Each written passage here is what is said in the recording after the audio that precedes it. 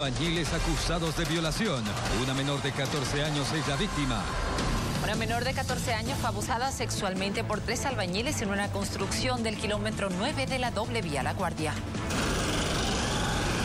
Desde el kilómetro 14 de la doble vía La Guardia, Tres albañiles habrían trasladado a una menor de 14 años hasta este domicilio, donde fueron contratados para realizar la obra fina, relataron los vecinos que los encontraron cometiendo el ilícito. Entonces mi mamá sale, mi mamá viene corriendo por este lado y mamá escucha que dice el que la tenía en el baño después de haber también cometido su acto en la noche porque la tuvieron a la niña desde las 12 de la noche aproximadamente. ¿Por dónde la meten?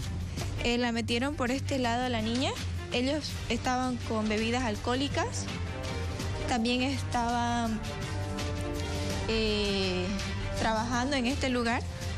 Entonces de ese modo, como ellos conocen la casa y saben que aquí el dueño eh, no para en la noche, la metieron, extendieron el colchón, que creo que es del dueño de casa también.